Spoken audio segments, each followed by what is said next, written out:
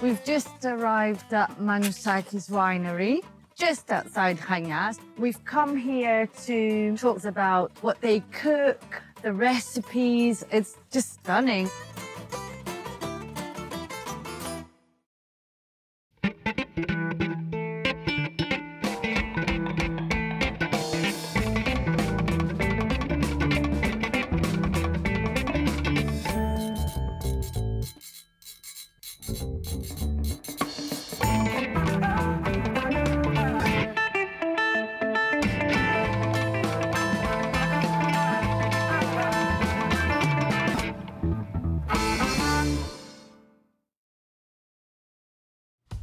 Week on Milk Street, Marianna Leivaditaki, author of Aegean, invites us to Crete, and we visit the Manousakis winery, and then we're taught two really simple dishes that we love meatballs in tomato sauce, as well as baked white beans. And then we prepare a classic olive oil drenched summer dish from Greece, baked vegetables. Please stay tuned.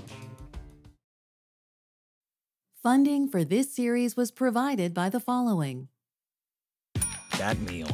You sauteed, you seared, and you served. Cooking with All-Clad. Bonded cookware designed, engineered, and assembled in the USA for over 50 years. All-Clad. For all your kitchen adventures. Hi, how are you, Alexandra? Lovely to meet you. Finally. This is my husband, Afshin. Oh, Yes, hi, we- how are you? Nice to meet you. We have a lot to say about food. Okay. This menu that we created is an invitation to our real home. This is not a fancy meal, nor a, an ancient meal, nor old ladies in the village cooking it kind of meal. This is how we would cook if you came to our house. So yes, we would have a spaghetti with minced meat in our house because that's what the kids love to eat. Yeah. yeah. So my aunt claims that she makes the best soutzoukakia, that's what that is. We have her recipe with us. We're very sentimental people. I think that's important to know and we like to cherish that and we like to promote it and, and we're very into our roots and it is truly the essence of, of what we're all doing here.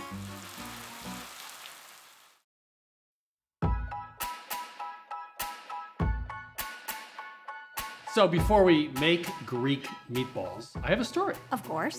I was in Turkey recently, and they make essentially Greek meatballs. Now, don't get mad because I didn't invent this term. They're called ladies' thighs. Oh, I'm not making that up. And they make two kinds, just like this, and the other kind they sort of squash down so they're a little wider. So this recipe came from uh, the West Coast, the Aegean coast, when it was a, a small Greek community. But now it's also part of the Turkish repertoire. Thank you for that history lesson. So I'm calling these meatballs, but they're actually more oblong shaped. I think we call them cigar shaped. They kind of almost look to me like an American football. Okay. But they're really amazing. They're cooked in this tomato sauce made with fresh tomatoes. And we're kind of going to start there. I'm going to work on the tomatoes. To have you work on the onion that's going to go into the meatballs. We're also going to grate another onion that's going to go into the sauce. You've given do. me the world's sharpest grater and giving me something Well, I difficult know to you grate. always have something to say when we use a grater instead of a knife, but I'm going to tell you why we're doing that. Okay. So, when you make a fresh tomato sauce, you have to concern yourself with the skins, right? You either have to be completely okay with having skins in your sauce, or you have to like blanch the tomato, then shock it, then peel the tomato, then chop it. It's a whole big thing. This is a great way to get fresh tomato that a pun? sauce. great. This is a great way to get fresh tomato sauce and not have to worry about the skins because skins are left behind when Okay. you grate. So you get going on your onion grating, and that part is going to go into the meatball itself. We're going to make a panade, as we often do with meatballs, uh, using some panko breadcrumbs, and the juice from that onion is going to soften that panko for the panade. Grating is also really good for tomatoes that are overripe. Maybe they're a little Really? too soft. Yeah, you can still grate them. So they still have really good sweet flavor, but you don't have to worry too much about the texture. Of course, I got the onion, so I'm about to start crying any moment. you know. We're getting down to the nub here. The Don't worry about leaving something Yeah, behind I'm, I'm just, that's what I'm leaving. So add the panko breadcrumbs and then a half a teaspoon of salt. And then just mix that together, and that's gonna be a nice panade for inside the meatballs. We'll grate the other onion for the sauce a little bit later. So the panade concept is bread of some kind and liquid, and that makes it more tender. Right. And if you overcook them, it Yeah, it's sort of an insurance policy Right. against kind of tough, hard meatballs. And in this case, you know, the liquid is just the onion juice. So that's going to you. sit for about 10 minutes, and Okay. I'm going to finish these tomatoes, and then we'll come back and mix together the meatballs. okay. The meatballs. I'm suddenly Italiano. All right, so this has sat for 10 minutes. We can move on with making the meatballs. I'm gonna have you chop up some of our fresh herbs. This has fresh herbs and some ground spices in it. You've got mint and parsley, if you would start chopping that up. I'm gonna talk a little bit about what we're gonna use for meat. We're using two different types of meat. We're using ground lamb and ground beef. If you wanna use one or the other, that's fine. We really like this combination. There's a little bit of that gaminess from the ground lamb, which is really nice in here. Plus, it's just really more traditional to use ground lamb. Good job on chopping over there. Yeah. All right, I'm gonna add an egg, a little bit of garlic, some sweet paprika, cumin, oregano, and then a little bit of black pepper. We've already got some salt in there from that panade. Then if you would throw those in here, this is about two tablespoons of each. We're winging it though. Then best way to mix some meatballs with your hands. Gotta get dirty if you're gonna cook. Your hands are your best tool. Yeah, tool. well, it's true.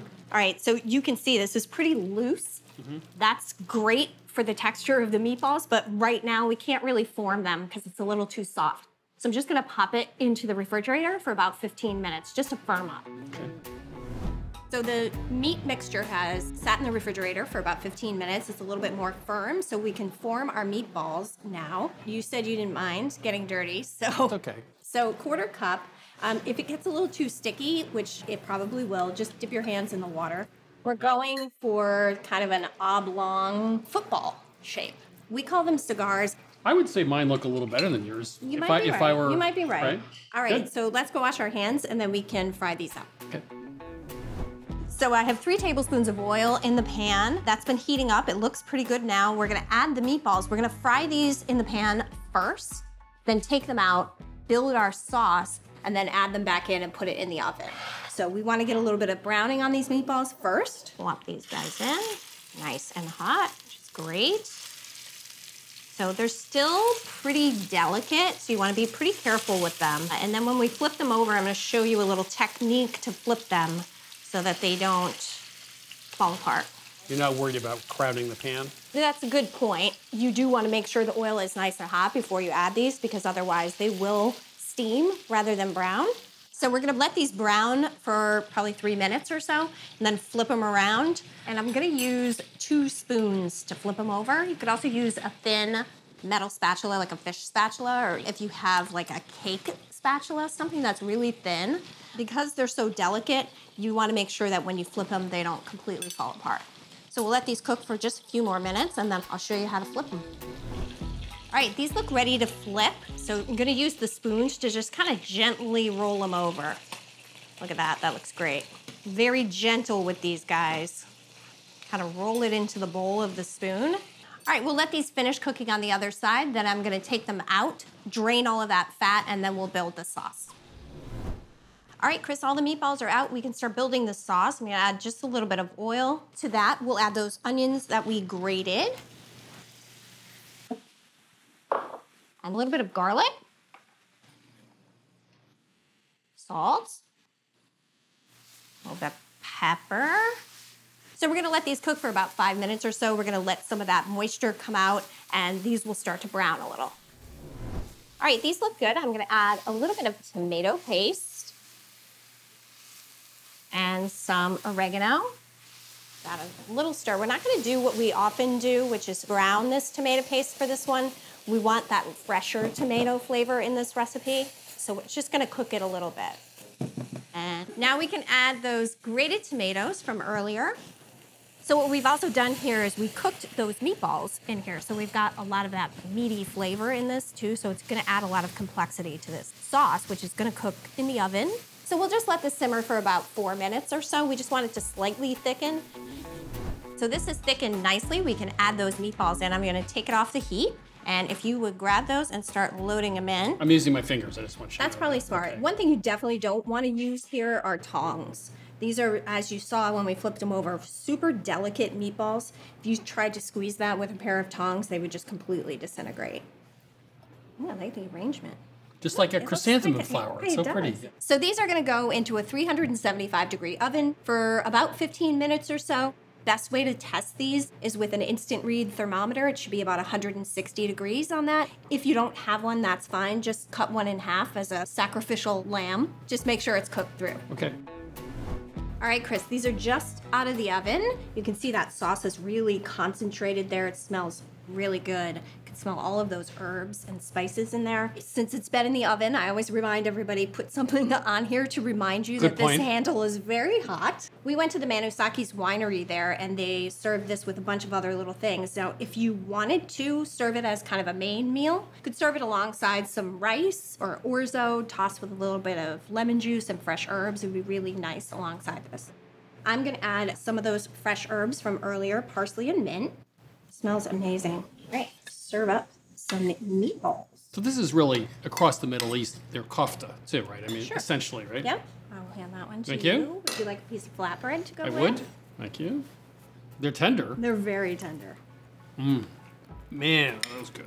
They're tender, they're light, obviously has nice herb flavor. I wouldn't say every culture in the world has meatballs, but most of them do. Many do. This is definitely top of the list there. So that sauce is so great. We made it with those fresh tomatoes and that grated hmm. onion. Thank you for all of your hard work on that. Really, really nice and concentrated flavor from those tomatoes. So Greek meatballs in tomato sauce from our trip to Crete.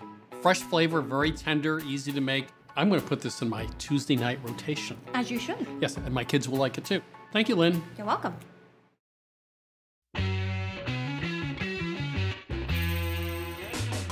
When we visited Crete, we went to the Manousakis winery and had phenomenal Greek style baked beans. So as soon as we got home, we wanted to recreate that dish. Recreating that dish is not as easy as you'd think because in Greece they're using the gigante bean, which is a bit larger and often mistaken for a lima bean. In this recipe, we're actually using Great Northern beans. And so Great Northern beans are a little bit smaller and they cook more evenly than their cousin, the cannellini bean. So last night I soaked a pound of beans with a little bit of salt just so I'd have it ready here for y'all.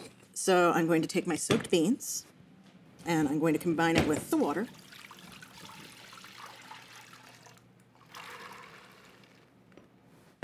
I'm also going to add a little bit of bay leaf, about two, and some crushed red chili flake. And now your beans should already be salted, so you don't want to add salt to this water. Just make sure that you rinse off your pre-soaked beans really well before they end up in the pot. Now I'm going to bring this up to a medium boil. This recipe is great because it doesn't require a lot of hands-on time, but it really makes for a hearty meal. Give it a little stir so everything distributes well. Now I just wait for bubbles. Now remember, if you are using the gigante beans, you're going to want it to cook a bit longer just to make sure that your beans are fully cooked through and tender. So we're getting a little bit of action in our pot. Just gonna let these come up to that medium boil. And when that happens, I'm gonna cover it and take it to our oven. So now that my beans are in my preheated oven, I'm going to let them cook for a bit. And while that's going on, I'm going to grate up my vegetables. So I've got some grated onion, carrot, and celery here. You want to make sure to discard the strings when you're grating the celery. And I'm about to grate up some zucchini. So it is tempting to use a food processor here. You don't want to do that because grating it by hand is going to release so much more of the flavor and the oils and all the good stuff in your vegetables. And besides, this is how they did it in Crete, so might as well do it the right way, right? And we're just going to grate this down to the stem. As you're getting close to the end, make sure to watch your hands. Alrighty, so I've got grated zucchini, and in a separate bowl, I'm going to work on my tomatoes. Seems a little daunting to grate a tomato, but it's actually a really great way to make a beautiful sauce. No need to rinse the grater off between. We can use all the extra vegetable love we can get. So I'm going to use the large sides on my box grater, and I'm going to grate these with the flesh side down until it reaches the skin. And go slow if you're nervous here. You don't want a piece of anything other than tomato in your final product. I'm just grating it down to the skin. So now we've got our tomatoes grated. I use the small holes on my grater to grate up a little bit of garlic as well. And then I'm going to combine my grated carrots, celery, and onion with my zucchini to add to my beans. So I just grabbed my beans out of the oven and put them into this 9 by 13 casserole dish. You want something that's either glass, bake safe, so we can finish off this dish. I'm gonna go ahead and pluck out my bay leaves because they've already given us all the flavor that we're gonna get from them. And I don't think I wanna bite into a big old bay leaf bite. So remove those. I'm using the same pan, didn't have to wash it out or anything. I'm gonna go ahead and add about three tablespoons of oil to it. Alrighty, I'm gonna put this up on medium heat. Our oil is heating up to a nice little shimmer now. So I'm gonna tip my veg in. Not the tomatoes yet, just these vegetables so far. All right, so I'm gonna let these cook for about two to three minutes uncovered, just to get some of the liquid out. To these vegetables, I'm going to add about a teaspoon and a half of salt. Now we just let them cook for a little bit. So I'm gonna let these cook for about two to three minutes, and then I'm going to cover the Dutch oven. Now, the reason I'm doing that is because I want my vegetables to cook, but not brown, so I wanna retain some of that moisture. So it's about ready for a cover. Here we go. Let these chill out for about eight to 10 minutes. You can poke in and check and stir occasionally. Alrighty, so our vegetables have been cooking for about seven to eight minutes now. They're a little bit softer and they are marrying well all together. So to this, I'm gonna go ahead and add my grated garlic and let that cook for about 30 or 40 seconds. Now that the garlic's in there, I'm gonna go ahead and add my tomato paste. And this is one of those moments where you don't need to be scared if your tomato paste is sticking to the bottom of the pan because that is what you want. You want to make sure that this gets to brown a little bit to add some more flavor to our dish. All right, now we're getting some more we're looking for. So we got a little additional color on our tomato paste from it cooking up. And now is the time that we add our grated tomatoes. Also gonna add just a little bit of oregano for flavor. Season it up. And a teaspoon of black pepper. So we are going to stir up all of our ingredients and let it cook until we get a couple shades darker before we add our tomato sauce to our beans. So these have been cooking for a couple minutes. The sauce is thickening up nicely. So I'm gonna turn off my heat and add it to my beans. So I'm just spooning the tomato sauce in over the beans that I cooked earlier and saved in the casserole dish. Alrighty. Let me stir this in first. Gosh, it smells good. So now that I've added my tomato sauce and combined it with my beans, we are going to bake this off for about 35 to 40 minutes or until the top gets this nice little crust. So let's take this over to the oven. So I just grabbed these out of my oven. You can see that there is a nice little crust going. It was bubbling on the sides right when I took it out. I did let it cool for about 10 minutes on a wire rack just to make sure I could handle the beans. So I'm gonna spin a little bit out for myself here. And you can serve this as a side or a main. It's hearty enough to just go with, you know, a little bit of bread, but you can serve it alongside fish, pork, whatever you see fit. You can see all the vegetables have kind of cooked down into this tomato sauce and it smells phenomenal. So before I take a bite, I want to add just a little bit more good olive oil. Alrighty, time to taste.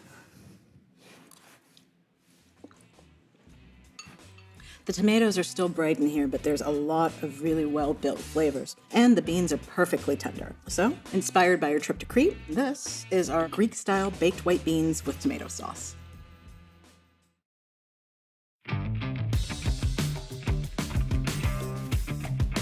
We're making an exceptionally easy vegetable dish from Greece called briam. It's an assortment of vegetables mixed together with a little garlic, a little dried oregano, and a generous amount of olive oil. Then it's baked in the oven until it's rich and jammy. Now, the presence of all that olive oil is what makes this dish a lather style because that word refers to the oil itself. Most briams have a little bit of potato in them, and ours does too. But the real highlight of this dish are the summer vegetables like zucchini and tomatoes, which bring brightness to the whole flavor. We're going to start with the potatoes because they take a little bit longer to cook. I've already cut the potatoes in a quarter inch thick slices, and they are unpeeled. Put them in a bowl with about a quarter cup of water to create steam inside the bowl. Cover the bowl and then microwave them on high for about 10 minutes. Okay, so our potatoes are very hot and we need to pour off that water we added to them. So I'm going to hold them back. There we go. Usually not a lot of water because the potatoes have absorbed some of the water. You want the potatoes to be almost tender. Not quite, but just about there. Al dente, you could say. Okay, we'll set this aside. and then we'll prep our vegetables. Now we have six plum tomatoes. You want to think about using plum tomatoes because they have a little less moisture in them than those big juicy beefsteak tomatoes do, and these work better in the Briam. We've cut four of them into little cubes, and we'll add those to the potatoes, and then we will slice our zucchini just a little thicker than the potato. We're using two medium zucchini here, but if you have extra large or extra small zucchini, just use a little more or less. And we're going to add this to the bowl as well. Okay, so we've got all our vegetables together in this bowl. We're going to add one red onion sliced, a few cloves of sliced garlic, a little salt and pepper, of course, and some dried oregano. Now, we're going to mix the vegetables with all of this, and remember the olive oil, quarter cup of olive oil. Now, the first time you make this, this may seem like too much olive oil, but it's really the exact right amount. The vegetables absorb the olive oil, and what it does, it doesn't make them heavy and oily. It actually enriches their flavor and helps them become really jammy sweet as they cook down, and it helps keep their moisture as well. Okay, you're going to mix this all together very well. Let the olive oil coat all those vegetables. You know, the way I remember the word lathera, which is the style of cooking vegetables in olive oil, is that you're lathering everything with olive oil. All right. So now we'll simply transfer this to a baking dish, and our recipe puts this under the broiler for the last five minutes of cooking, so you want to make sure your baking dish is broiler safe. If all you have is a glass baking dish, that's okay, just skip that broiler part.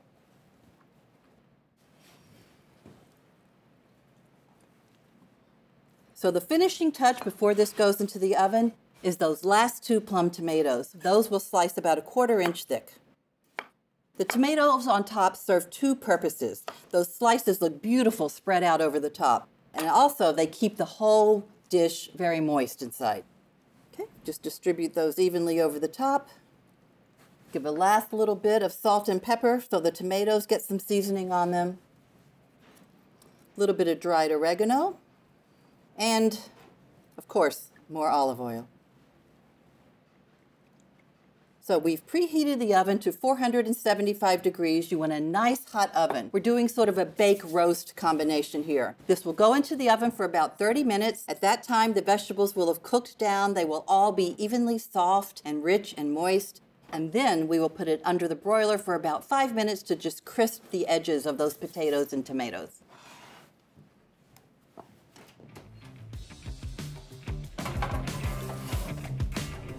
Ooh, just took this out of the broiler. You can see the little brown edges around the tomatoes and the zucchini and some of the potato got a nice little singe on it too. Now we're gonna sprinkle over a little bit of feta cheese. Feta is a Greek cheese that has a salty, briny quality to it. We're going to sprinkle it over while this is hot so the cheese gets just a little soft and melty. It's not a stretchy, melty cheese, it's a soft, creamy cheese. And this is one of those instances where it's worth getting a really good quality feta. Avoid those pre-crumbled pieces that you can get in a little tub and buy a block of feta. So once the cheese goes on top, let it sit for about 10 minutes to give the cheese a chance to get warm and soft. Now this is one of those dishes, if you're not sold already, you can make this far in advance and let it sit until you're ready to serve because it's just as good at room temperature as it is warm. It's even good cold the next day too. But once it comes out of the oven and you have the feta cheese on it, it will wait for you.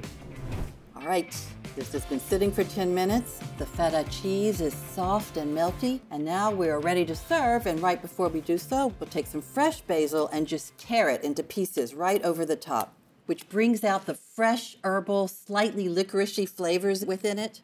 And then, of course, a good Briam is going to be lathered with more olive oil. So we'll just sprinkle that over the top. You know, olive oil, when it's baked in the oven and then fresh olive oil has different qualities to its flavor, it'll maintain more of its fruitiness right now, whereas in the oven it gets a deeper, richer flavor. Plus, it mingles with all the juices of the vegetables, and what you've got is an incredibly soft, delicious vegetable dish. So we are ready to serve. It's a very casual sort of dish. Serve it very casually as well. Just scoop it up and place it on your plate or a bowl. Get some of the juices in the bottom and drizzle those on top. And this is a briam, Greek baked vegetables. Hmm. This is one of my favorite combinations. Baked tomatoes, zucchini, onions, and that warm feta on top. Oh, I could eat this every day, literally. This is so delicious. You can get this recipe and all recipes from this season of Milk Street at milkstreettv.com. All episodes and recipes from this season of Milk Street Television are available for free at our website, milkstreettv.com. Please access our content, including our step by step recipe videos, from your smartphone, your tablet, or your computer. The new Milk Street Cookbook is now available and includes every recipe from our TV show. From fried shrimp tacos and Thai style vegetable stir fry, to Mexican chicken soup, and Swedish cardamom buns, the Milk Street Cookbook offers bolder, fresher, simpler recipes. Order your copy of the Milk Street Cookbook for $27, 40% less than the cover price, and receive a Milk Street tote with your order at no additional charge. Call 855 MILK 177 or order online. Funding for this series was provided by the following. That meal. You sauteed, you seared, and you served. Cooking with All-Clad. Bonded cookware designed, engineered, and assembled in the USA for over 50 years. All-Clad. For all your kitchen adventures.